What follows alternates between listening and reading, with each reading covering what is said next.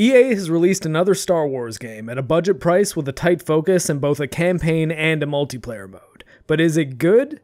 Kind of, sure. But is it worth buying? That's a much more difficult question and one which I, Marc the Cyborg, hope to help you answer. I'll start off by saying that this video is going to be focused on the single player campaign, so if your interest is in a multiplayer Star Wars dogfighting game, this isn't really going to be a useful review for you.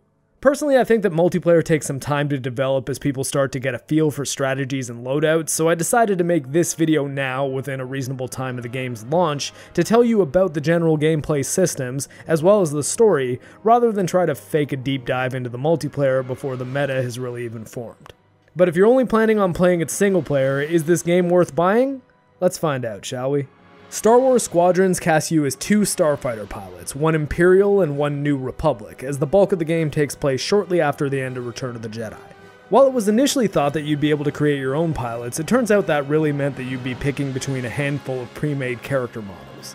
Most of them are pretty unattractive too, especially this one that looked like Ryan Kinel. It grossed me out so much that I had to play as him. Dude, During the campaign, you'll play a handful of missions for one faction before automatically switching to the next. There are two prologue missions, 14 main missions, and the action seems pretty evenly split between the factions, if weighted slightly toward the New Republic but this is one campaign that keeps automatically switching back and forth between them, not two separate campaigns. Each faction obviously gives you a different selection of fighters, with the Imperials giving you access to the TIE Fighter, TIE Interceptor, TIE Bomber, and TIE Reaper. The New Republic gives you essentially equivalent ships with the X-Wing, the A-Wing, the Y-Wing, and the U-Wing. No, not Patrick Ewing, it's the ship from Rogue One. Some missions lock you to one ship, while others give you a choice between a few of them, and your loadouts can be further customized from there. No matter which ship you're flying, you'll be in first person view with no option at all to switch to third person. If that's a deal breaker for you, that's that, I'm afraid. But if you're worried about how it'll affect the look of each ship, the cockpits do differ quite a bit from each other, particularly when it comes to your field of view and peripheral vision.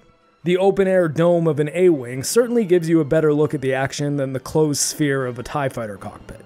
When playing with the controller, you can click the right stick to free look around, but you have to click it again to regain control of your ship's pitch and roll, assuming you're a man of culture and are using the aviator control setting. This isn't an elegant solution at all, so the massive opaque HUDs, which are in this game but were absent in the Battlefront cockpit views, give you what almost seem like paper slits to view through in some ships.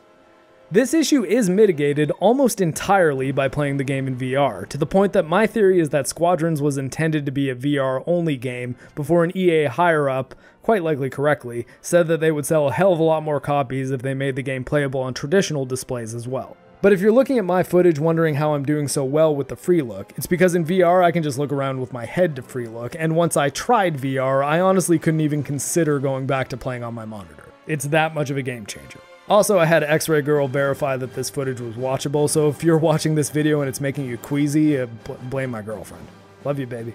In either case, I was playing on my Xbox One controller, as the Valve Index controllers weren't supported at all, and I don't have a flight stick, but that may have been a good thing as I've seen some reports that the flight stick support is totally broken right now, to the point that it's unplayable. So thank you Microsoft Flight Simulator for making every wannabe Maverick buy up all the sticks in my area, because them being sold out saved me from spending money on a peripheral that apparently has poor support in the game I was going to test it with. The good news is that now I can tell you for sure that the controller support in the game is pretty solid. The aviator control style, which I found most comfortable, maps the throttle and yaw, aka the gas, brake, and turning, to the left stick, while the right stick handles the pitch and roll, aka looksies up and down and spinning, which is a pretty good trick. I'll try spinning. That's a good trick. The bumper buttons fire your two special weapons. The left trigger locks the target that you currently have in view, and the right trigger fires your primary weapon. The A button cycles through your current target, Y is used for issuing commands to your squad or requesting a resupply of your ordnance, and the B button fires your defensive item. Clicking the left stick gives you a speed boost, which can be used to pull off some slick drift moves like the one Poe does at the beginning of The Last Jedi, which as much as I hate that film, I always did think that looked pretty cool. The D-pad directions and the X button all hold functions which really set this game apart from Battlefront 2's space combat. All of these buttons are related to the power management system, which is a gameplay system in Squadrons that's quite meaty and adds a nice little simulation flavor to the gameplay. If you're in a ship with shields, you can press down on the D-pad to split your ship's power evenly across your engines, weapon, and shields, or just between the engine and weapons if you're in a TIE fighter. I did appreciate that the creatives behind the game kept shields off of the TIE fighters, because that's always been true in the lore, but I do wonder how it'll affect the PvP multiplayer balancing. In the campaign, it seems like the Imperial ships move a bit faster and hit a bit harder than the Republic ships, but it's hard to say for sure because on the standard difficulty, enemies fall pretty quickly regardless of which ship you're flying. Power management does have a pretty dramatic effect on ship speed and handling when you move power to the engines by hitting left on the D-pad, letting you escape missile locks or cap ship turrets in a hurry if you find yourself in trouble. If you move all power to the weapons by hitting up, your weapons don't overheat nearly as quickly and cool down much faster, which is invaluable for doing consistent damage to more powerful targets. Shield power management is even more technical, as in addition to shifting all power to shields by hitting right on the D-pad, if you press and hold X, you can decide to have your shields focus to either the front or rear of your ship if you're attacking or running from a powerful target. You can also turn on advanced power management mode, which lets you micromanage your power, which I didn't really have any interest in, but it's there if you want to do it. Overall, the experience of flying a ship in VR is quite good. You can bring your ship from a super fast boost to a floating stop, and maneuver in all the ways you would want to maneuver a ship in Star Wars. I'm not personally an expert in spaceflight sims, as it's been a couple decades since I was spending entire weeks marathoning my way through Wing Commander 3 or playing X-Wing Alliance, but I found the core gameplay in Squadrons to be quite serviceable, from my perspective as sort of a space sim layman. So if you've got 3,000 hours in Elite Dangerous and you aren't satisfied with how in-depth I've gotten in this review, just know that I- am not an expert in this type of game and you're probably right, I'm probably wrong. Please don't hit me. Squadrons isn't a blockbuster cinematic type game which takes you through arcadey, explosion filled moments from the films. It's definitely a more subdued simulation, but at the same time, there is enough fast paced action and eye candy to keep casual players interested. A lot of the models are pretty simplistic and the explosions aren't nearly as impressive as you think they should be, but the colored lighting and visual effects do a good job of making the game look at least aesthetically pleasing. I've got to hand it to the art directors for making the stages look quite distinct and attractive, with all sorts of variations like colored nebulas, asteroids, space stations, and wreckage. Considering there are no in atmosphere missions on planets, it's nice to see that there aren't really any missions which are just generic space and stars. In the cockpit, the game performed beautifully too. I was getting a frame rate above my monitor's max refresh rate at all times when I was playing on the flat panel, and a solid 144 frames a second at seemingly all times in VR. Although, to be fair, my computer is a little ridiculous. Outside of the cockpit, things do not look very good at all, though. While there are some pre-rendered story cinematics after each mission, most of the narrative is told through pre-mission home base segments. These segments look horrendous on traditional displays. Despite the awesome frame rates I was getting, it seemed like all the character animations are like locked to 30 frames a second or something because whatever was happening, it all looked very weird. Things do improve a bit in VR, but there's still some Mass Effect Andromeda tier character animation happening which hurts these segments a lot because all you really do between missions is look around your base clicking on characters to talk to. And by talk to characters, I mean you stand still silently while a character spouts a bunch of largely irrelevant backstory at you as if you're playing the Outer Worlds or Fallout, but with no ability to choose dialogue or interact with the conversation at all. Your character does chatter a bit during combat, but on the ground, both your Republic and your Imperial pilot are silent blank slates. This wouldn't be a problem if the characters who you interact with were interesting, but every character is super dull, with a maximum of one or two character traits that are never expanded on in any interesting ways. You've got a Trandoshan with a price on his head who gambles. Those are his traits, and you can bet that he brings them up nearly every time you talk to him. There's an Imperial scene chick who really hates rebels. She'll kill any rebel she meets, trust me. She's super scary.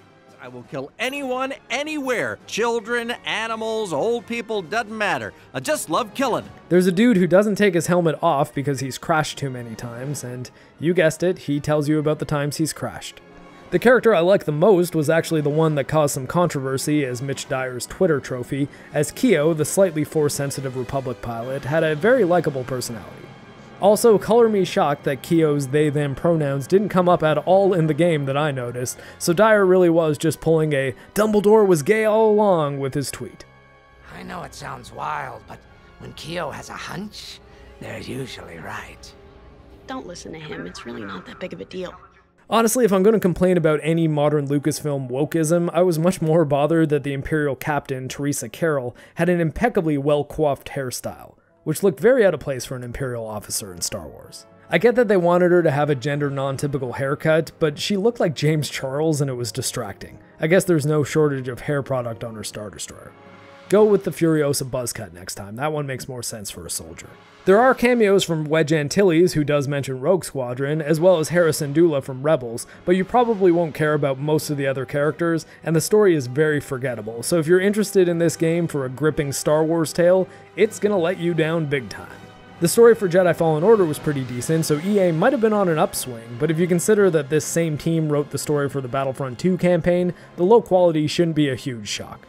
So, with all that said, is this game worth playing if you aren't into multiplayer gaming, don't care about the piss poor story or characters, but just want to fly in some Star Wars ships carrying out some pretty well designed, if simplistic missions? If you're playing on Xbox or if you don't have a VR headset for your PC or PS4, my honest answer is no. The flat panel gameplay just doesn't feel fantastic due to the cluttered field of view, and using the right analog stick to toggle to free look isn't a very elegant solution. However, if you do have a decent VR setup, then I think I can pretty safely recommend this game at its more reasonable price point to Star Wars fans who want the in cockpit experience. I honestly can't imagine Galaxy's Edge ever having an attraction which makes you feel quite as much like being in a starfighter as this game does. Although I've never been to Galaxy's Edge, so Astro and 3PO. It'd be a hell of a lot better if they hired some better writers and worked a bit harder on the story's presentation, but this game was clearly made on a more limited budget so that it could cater to a more specific audience, so I'm willing to go a bit easier on it for that reason. It'd honestly be nice to see more Star Wars projects with a limited scope which try to deliver a specific thing to some people, rather than every project be a kitchen sink game like Battlefront, which tries to be a flight sim, and a first person shooter, and a third person shooter, and a Jedi game all at the same time.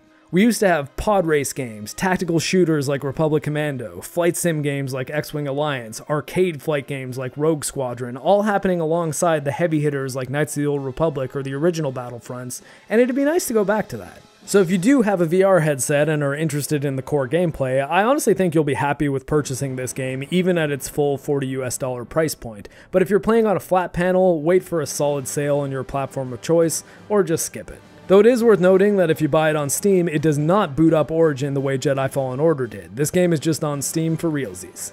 Also, if you're interested in the multiplayer for this game primarily, I recommend checking out Twisted Jedi's channel, as it was good to have him on the Gaming with Geeks podcast to talk about the game, and I feel like he'll give you better information on it than I could ever hope to. We can't all be Australian after all. Yeah, wrecked.